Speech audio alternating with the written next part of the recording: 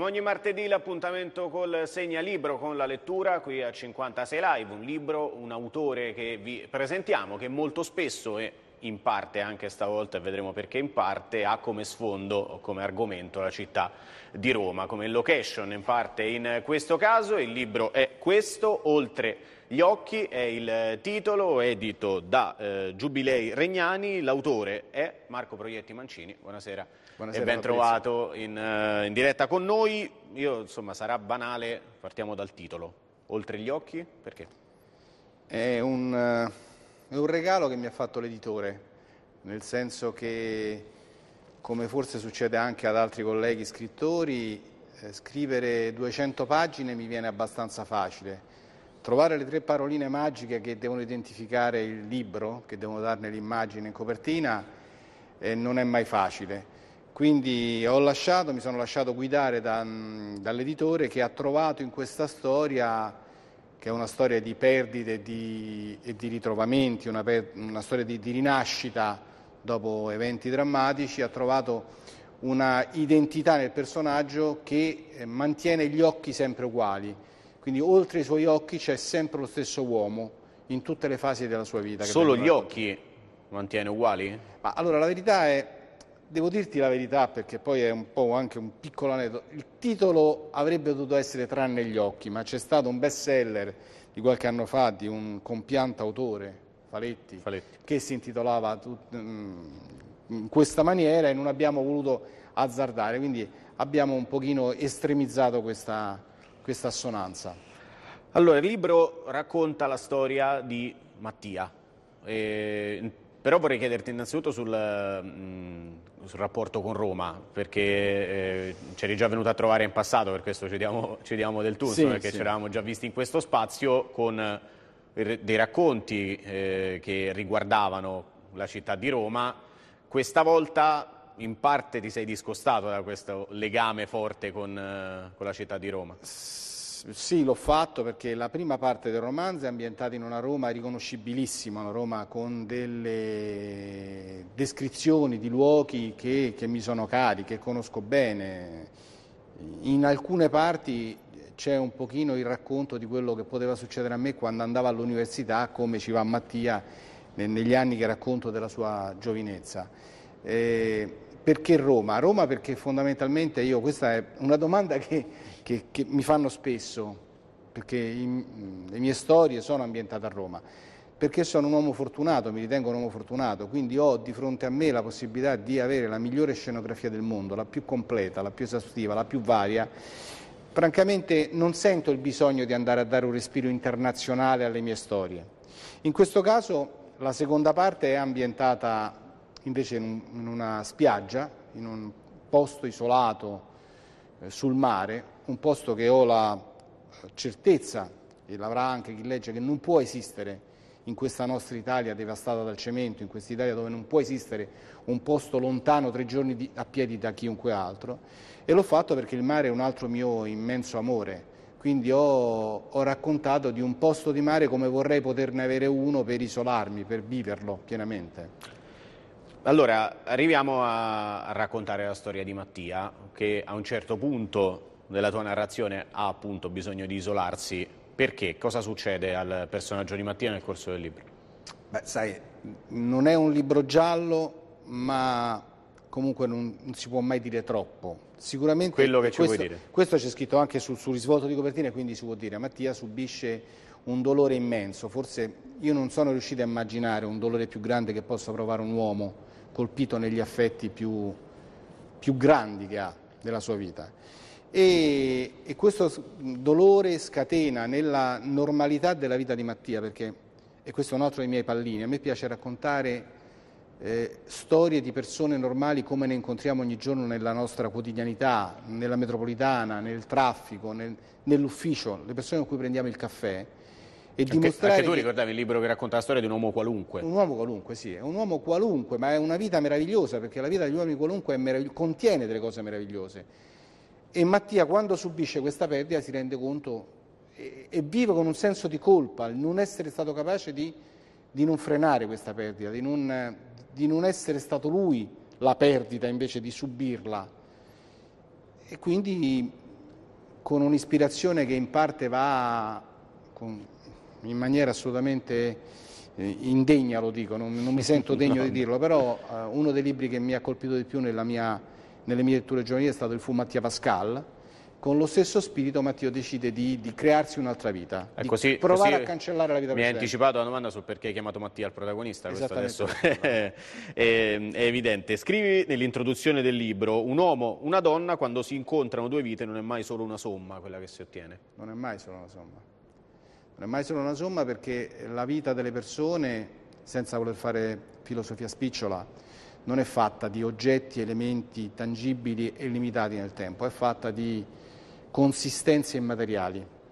Quindi nel momento in cui due persone si incontrano diventano non solamente una coppia, non solamente la somma di due persone, ma diventano un universo a sé stante, una combinazione, un'esplosione. A maggior ragione come, e anche qui posso dirlo perché non è rivelare nulla, da questa unione nasce un figlio, nasce una figlia, perché a questo punto si moltiplica, si leva a potenza in maniera infinita eh, questa questo insieme di umanità. Quando poi succede che in questo molto più che una coppia, molto più che due persone, viene a mancare una sola delle due, io credo che sia inevitabile che si porti via molta parte della vita dell'altro, che in qualche modo sia una devastazione, come quando da una, da una montagna si stacca un masso, non è solamente un pezzo di roccia che si stacca, porta, cambia la, la fisionomia della montagna, cambia la vita della montagna, di tutta la vita che c'era dentro quella pietra.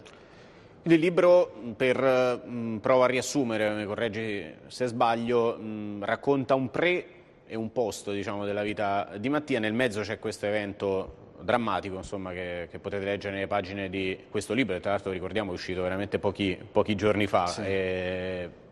c'è questo pre e questo post e non so se ho capito bene, è una sorta di fuga impossibile da, sì. da se stesso. Sì, sì è una fuga impossibile perché in realtà oltre gli occhi nessuno può cambiare.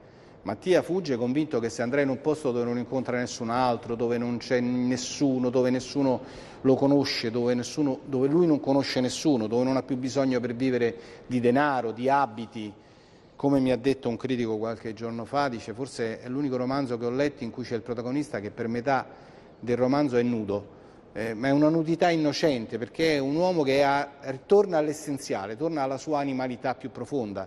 Ci sono anche degli episodi nel libro che io richiamo. Eh, lui fugge perché non vuole più essere un uomo, non vuole più essere un, un uomo civile.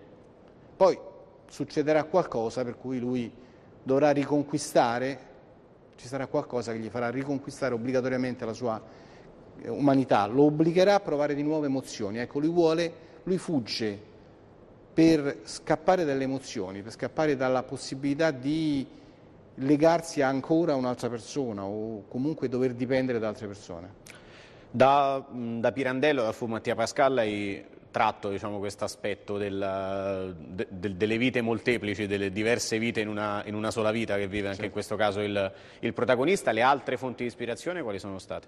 Le altre fonti di ispirazione sono state cinematografiche perché ho voluto rovesciare in questo romanzo una serie di citazioni di film che nella mia memoria mi ricordano, hanno fotogrammi bellissimi. Citazioni palesi o In alcuni casi sono palesi, ad esempio il Raggio Verde di Romer è citato più o meno esplicitamente e in altri casi sono solamente il tentativo di ricostruire l'atmosfera di quei film potrei anche dirli veramente, in un contesto meno pubblico, in una presentazione che ho fatto qualche giorno fa, li ho citati esplicitamente che c'erano 50 persone. Oggi in televisione vorrei invece sfidare chi leggerà questo libro a fare un gioco, cioè a, a, a cercare di trovarle tutte queste citazioni di film, di ricostruzioni di ambientazioni cinematografiche.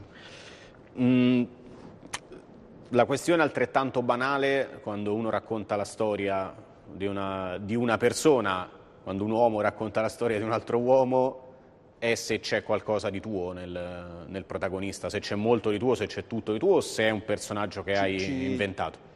Ci sono tutte le mie paure, non tutte, ci sono forse le mie paure peggiori, ci sono le mie paure peggiori.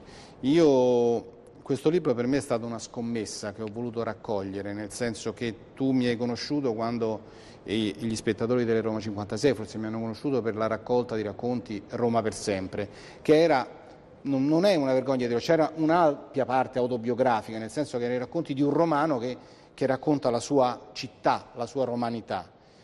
Poi ci sono dei miei romanzi che sono uh, di un'ambientazione più storica perché sono ambientati nei primi 30 anni, nei primi 40 anni del Novecento e, e, sono comunque romanzi che narrano una storia di fantasia, che raccontano persone comuni ma eh, in cui di mio c'è solamente la, la capacità di scrittura.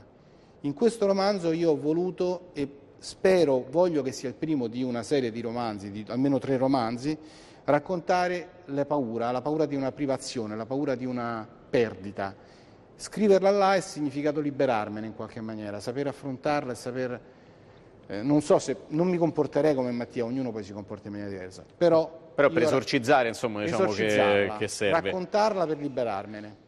E mi incuriosiva tra le critiche eh, che ho letto questa, è una persona talmente normale, Mattia, quasi non varrebbe la pena di narrarne la storia. Sì, sì questa è una risposta che ho dato in un'intervista. E ed è così, però è anche vero che io sono convinto che nella quotidianità di ogni persona normale, come ti ho detto prima, quelle che incontriamo nella metropolitana, ci sia un mondo da raccontare, basta saper leggere negli occhi delle persone che incontriamo, perché gli occhi delle persone che incontriamo sono dei libri. Gli scrittori non leggono, cioè gli scrittori leggono i libri sicuramente, ma se vogliono scrivere libri devono essere capaci di leggere le persone e raccontare le storie di quello che leggono per dare voce, questo è un mio pallino, forse te l'ho già detto con Roma per sempre, l'ho raccontato quando parlai di anni belli, bisogna dare voce alle persone normali. È bellissimo scrivere gialli, serial killer, eh, magistrati, eh, supereroi, meraviglioso. Mm, non è una letteratura inferiore o superiore, non c'è superiore o inferiore. Però io sono convinto che eh, se ci facciamo raccontare la vita dalla persona che sfioriamo ogni giorno, scopriremo che ha da raccontarci mille cose e quelle mille cose meritano di essere raccontate a tutti. La domanda che ti avranno già fatto eh, succede a chi ha scritto più di un libro e a chi raggiunge la mezza età. È un romanzo della maturità? Spero, ah, sai, a 53 anni la maturità se non l'ho ancora raggiunta mm, sono molto preoccupato della, mia, ritardo, della, mia, della mia, sindrome di Peter Pan.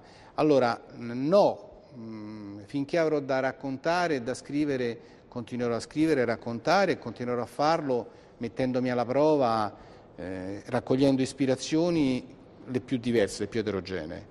A dicembre uscirà la mia prima chiamiamola storia nera, una storia molto cruda, molto dura, raccolta in un, in un progetto che uscirà per Istorica, che si chiama Storiaccia, in cui racconto la vita delinquenziale di un adolescente del Quarticciolo, che è un quartiere vicino a dove vivo io, del quale mi vado spesso a abbeverare, perché è quella la vita normale, io dico, la vita che, che, che forse le persone importanti rifiutano di riconoscere, di vedere. Ecco, quella è un'altra sfida e non so se poi quello sarà quello della maturità o se quello che uscirà nel prossimo anno, non posso saperlo. Allora, io nel insomma, darti appuntamento a dicembre poi per questo tuo nuovo progetto, nel ringraziarti, nel ricordare Oltre gli occhi, Marco Proietti Mancini, edito da Giubilei Regnani, uscito pochi giorni fa in libreria. Domanda finale, c'è qualcuno a cui si rivolge in particolare questo, questo libro, qualcuno a cui lo proprio lo consiglieresti fortemente? No, io lo, lo sconsiglierei a qualcuno, francamente ah. sì, sì, perché scrivere è una, una grossa responsabilità e a volte scrivendo noi siamo capaci di fare male. Allora io faccio un discorso inverso, vado oltre, mh, mm, faccio qualcosa forse irrituale. Se qualcuno ha avuto una grande perdita, io non mi sento di dirgli di leggere questo libro, perché non voglio avere la responsabilità di eh, rinnovare quello che può essere un dolore che io non ho diritto di far rivivere a qualcuno che già ha avuto. Anche se bisogna dire che poi in quel caso dire che il libro è riuscito bene perché se io spero a penetrare che, insomma, allora, io spero che sia venuto bene e, e, con questo voglio dire che spero che emozioni leggerlo, spero che faccia pensare, spero che coinvolga eh, al di là della qualità dell'ortografia, del lessico, io spero che coinvolga, ma è proprio per questo, perché lo spero, che non mi sento di dire a qualcuno che ha avuto una grande perdita leggi questo libro, perché ripeto, scrivere è secondo me un'enorme responsabilità. Grazie Marco per Grazie essere stato con noi, Marco Proietti Mancini. Oltre gli occhi, ci fermiamo adesso per qualche istante di pubblicità, rientro. Abbiamo decisamente argomento l'informazione sportiva, tra poco.